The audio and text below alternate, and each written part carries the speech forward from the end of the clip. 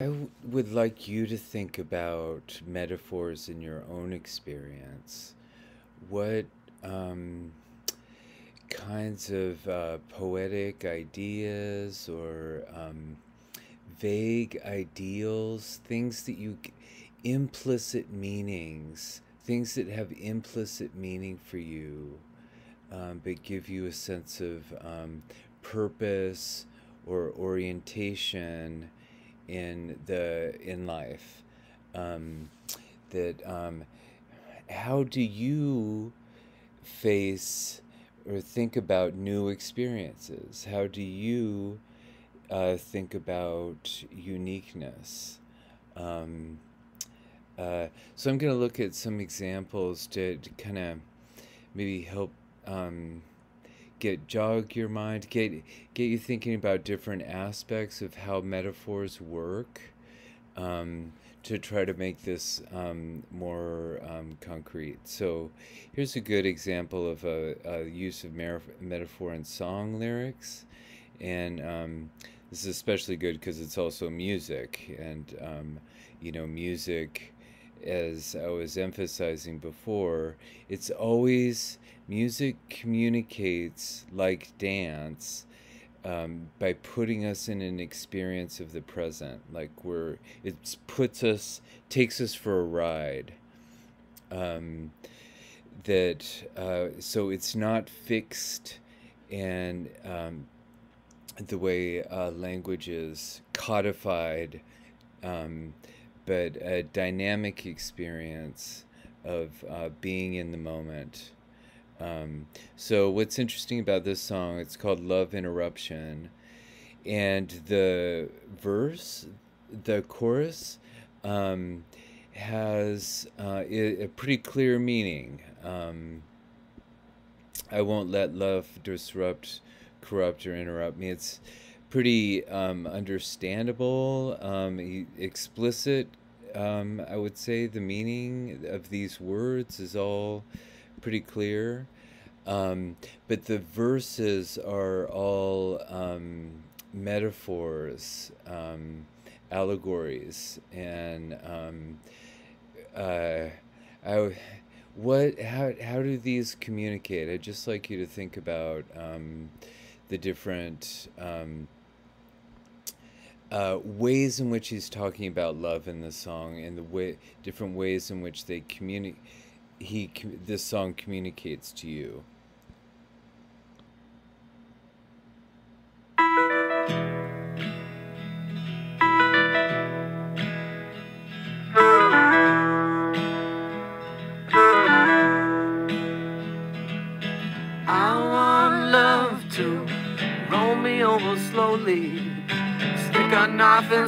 me and twist it all around. I want love to grab my fingers gently, slam them in a doorway, put my face into the ground. I want love to murder my own mother take her off to somewhere like hell or up above.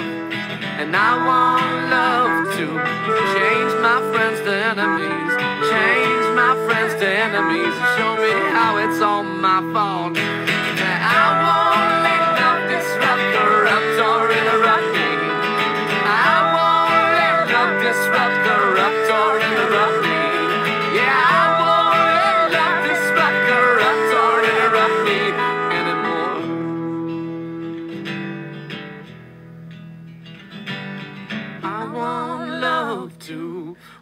Right up and bite me, grab a hold of me and fight me, leave me dying on the ground. And I want love to split my mouth wide open Um, so what I think um, these um, different one thing I think you could say about these different uh, metaphors or allegories uh, for the experience of love is um, like I was saying they leave open the um, they a space of imagination for the um, listener. Um, we are instead of the fixed meanings of these clear words um, that we can understand unequivocally, um, these tell little stories um, that we have to reimagine on our own terms, fill with our own imaginations. Um, and they're allegories, they're models, analogies of um, the experience of love, uh, the experience of self transformation. Um, so, um, uh, the like the experience of music, the experience of the metaphor is something that we deal with in in as we we go through the song. Um, it's something that happens to us. Um, it's something that we do. We interpret it in time. How we hear this song at one moment, how we interpret these metaphors at one moment. Um, might not be the same at a, at a different moment. It's interactive. Um, it speaks to um, our context. It's a way of interpreting our context and um, uh, expressing um, ourselves through how we interpret these um, ambiguous, paradoxicals, what um, uh, uh, images.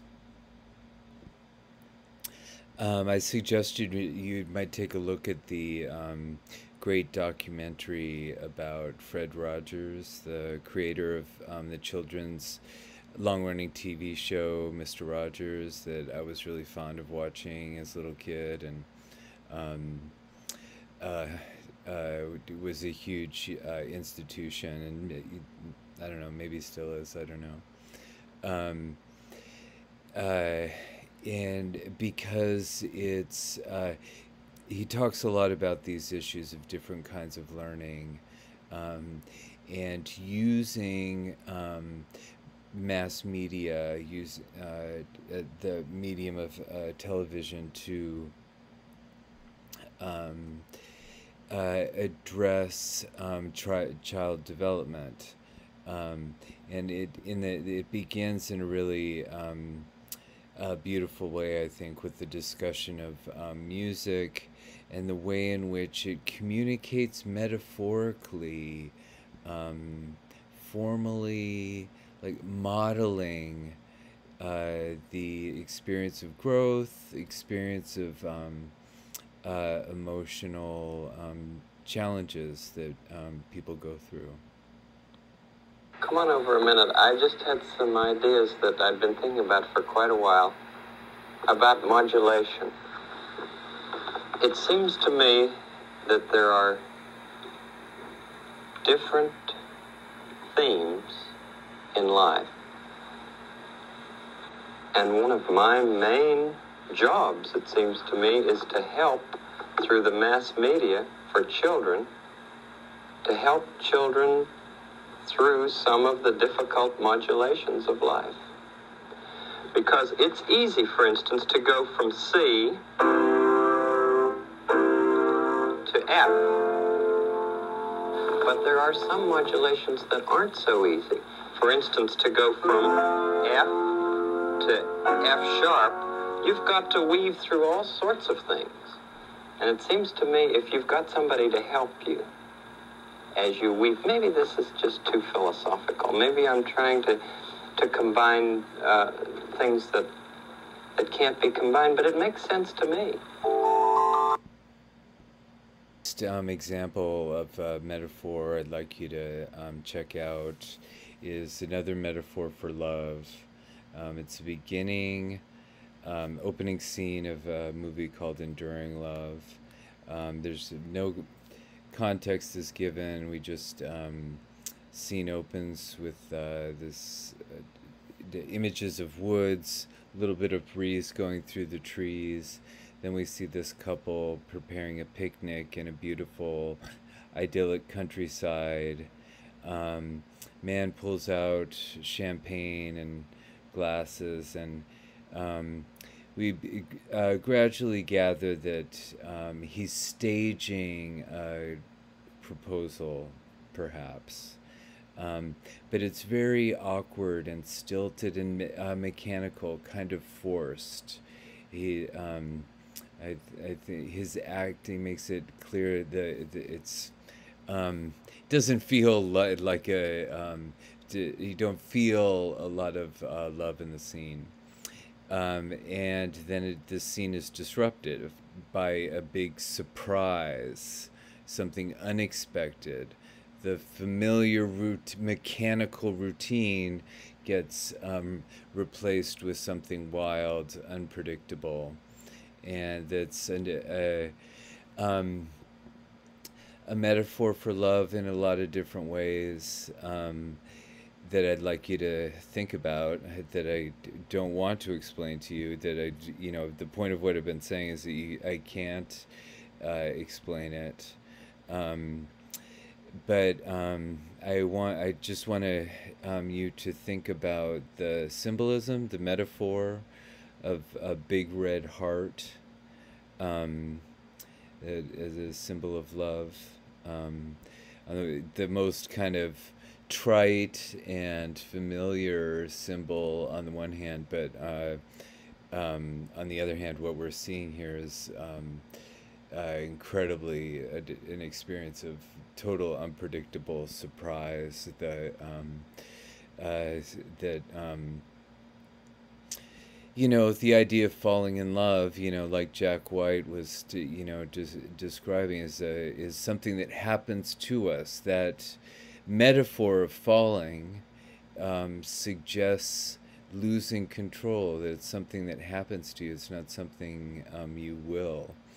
Um, those um, examples I um, gave you of um, uh, experiences of uh, embodied experiences of uh, play, sleep, love are things that we can't entirely consciously control. They happen to us. Um, and um, that's true, I think, of uh, most important parts of our identity. And um, again, that's what um, uh, the. Uh, I'm, I'm suggesting metaphors are really crucial for exploring. That Zadie Smith's metaphor of the flower um, and um, a central part of communicating about the uh, adventure of life.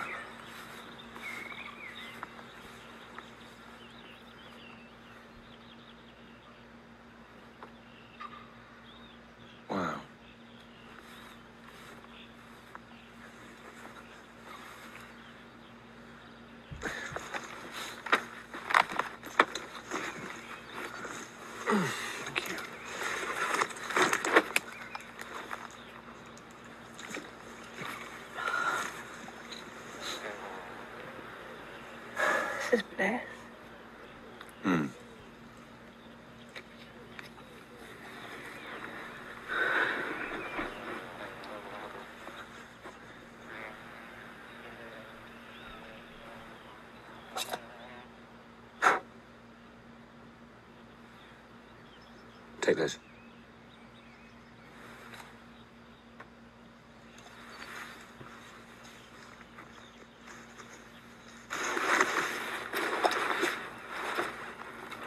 Looks posh. It's the poshest of the posh. It's really difficult.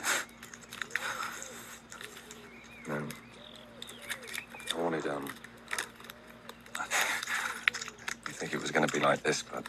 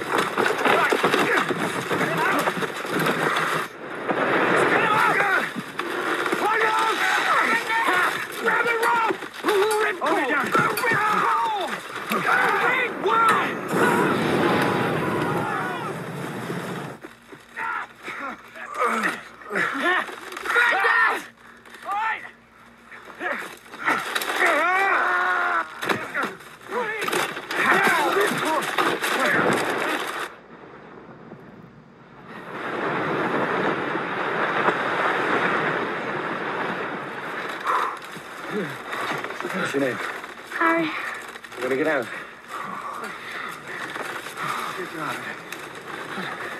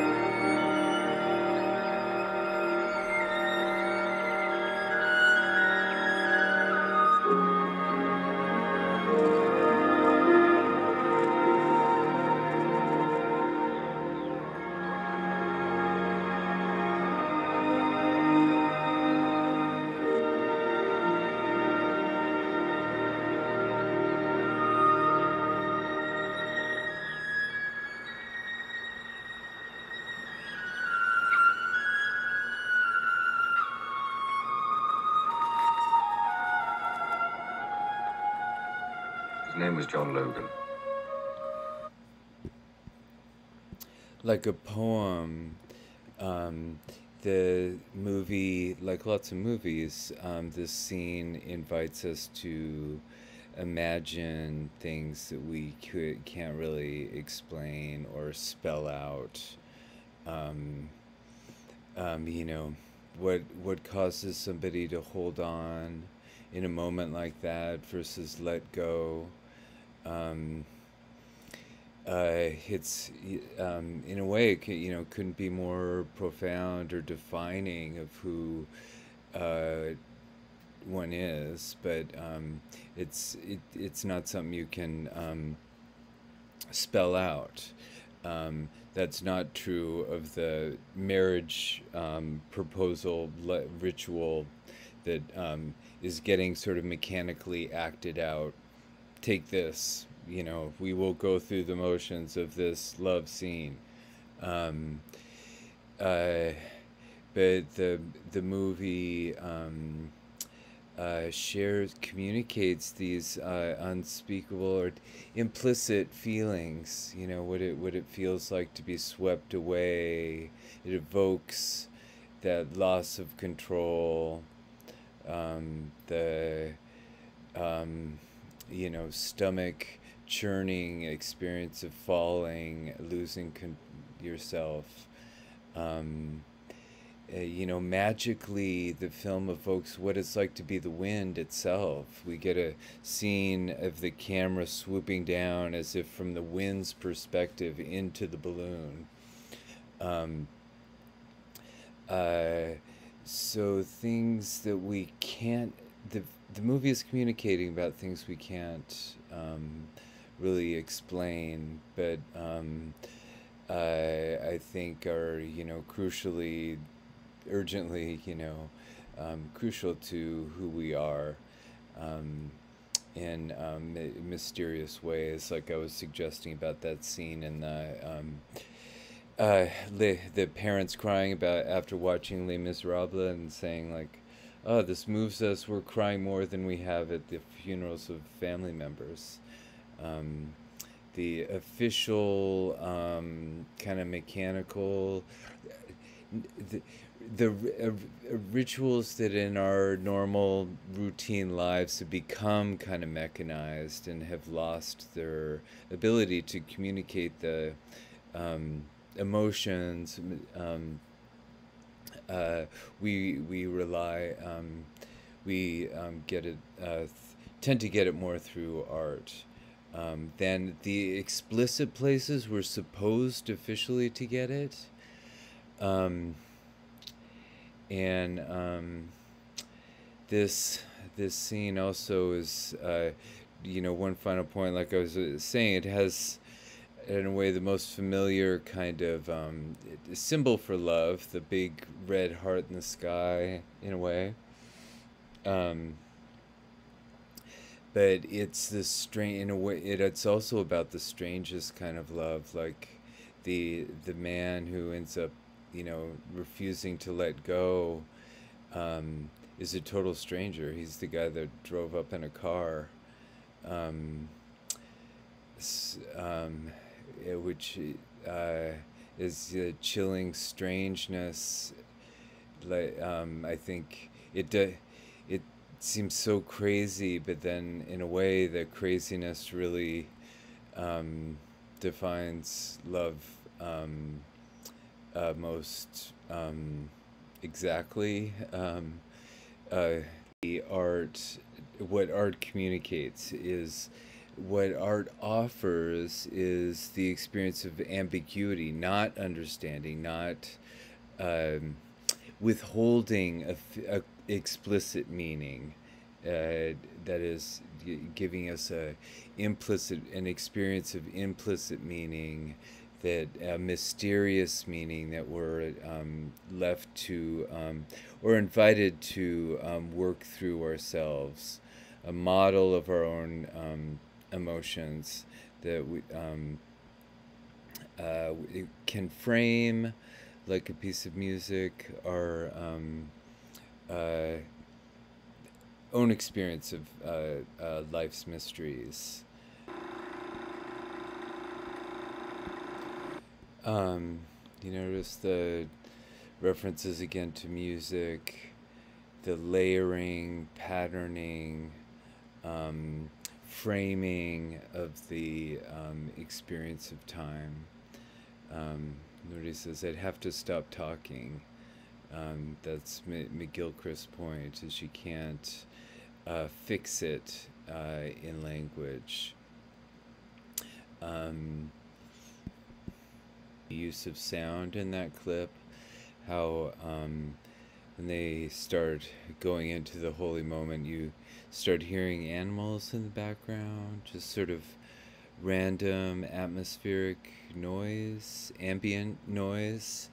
Um, uh, sort of the texture of experience is accidental um, and um, mindfulness being in the flow of experiences um, about noticing the, these moment-to-moment accidents that scene from um, enduring love is dramatic accident you know like a thunderbolt out of the sky um, but it's not about the drama. It's not about the narrative. It's about um, the um, uh, form of um, the interactivity, um, this flowing interaction of um, uh, experience. Um, okay, so I'm to show you one other a little film film clip about um, trying to frame the moment, the holy moment.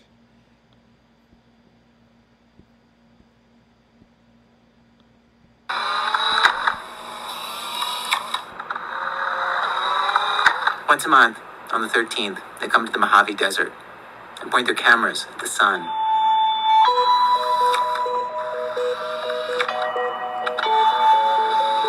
The first time we took a photograph of the sun, right below at 6 o'clock was an actual picture of the Blessed Mother. When I took the first picture, it was amazing because I got something that they call the door to heaven.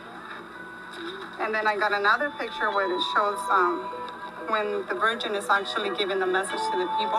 And you can see the, the Virgin right next to the sun. We've gotten many different pictures Mary, Jesus, the Pope, staircases.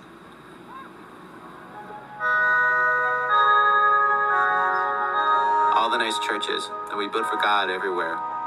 And he and his messengers choose to reveal themselves out here. In exactly the place where you'd want a roof over your head. It's 110 degrees. Of course, if God is everywhere, you already believe in God. No question about that. Why do you need a picture? Well, for me, that picture is just saying it is real. It happened. I didn't dream this. It's true. I was there and I have proof. So it's almost like a, a souvenir that you were actually a witness to this. More than a souvenir, it is a, a sign. It, it would be just like if um, someone who's in love with someone gives them a rose. It's a sign of their love. Mire, cada, mire, aquí está la carita, si se fijan. Ahí está la carita. So it's almost like a reminder. Yeah, yeah, And so it's important to sort of have like a souvenir to carry around. yeah.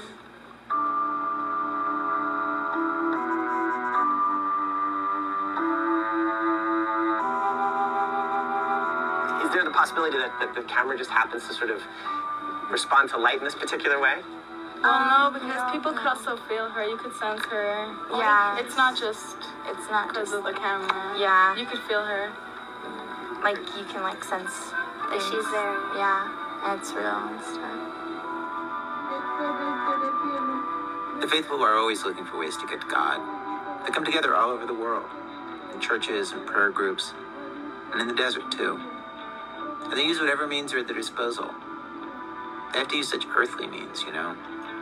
The chemicals on a 4x5 rectangle of Polaroid film. The point is to see them, feel something as a result. These images wouldn't work if you know if if there were if you actually if jesus actually came out was like here i am. Um uh they they work because of the mystery. Like the example of the rose that the lady um mentions. Um, it works because of its um, am- ambiguity. If um, it, you know, it, uh, it, um, it's romantic because it uh, is a gesture of faith. It um, is an appeal.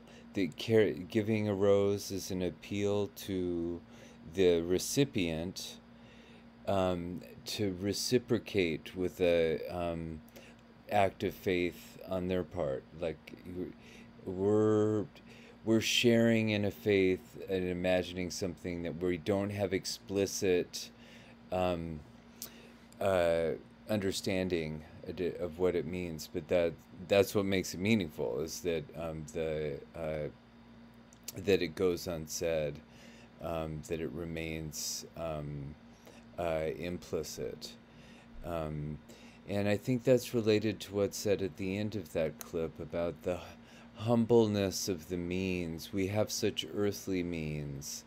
Um, and I think that's a. Um, uh, d- just a powerful um, idea to keep in mind that um, I we um, uh, communicate by um, acknowledging the limits of our means of uh, communication. Um, that's um, we evoke uh, what we can't say um, by showing um, the uh, reflecting on the um, limits of what we can say. Um, so I thought it interesting, you know, to go from those old Polaroids to um, back to this Apple ad that I gave you to look at. Um, you know, especially because phone.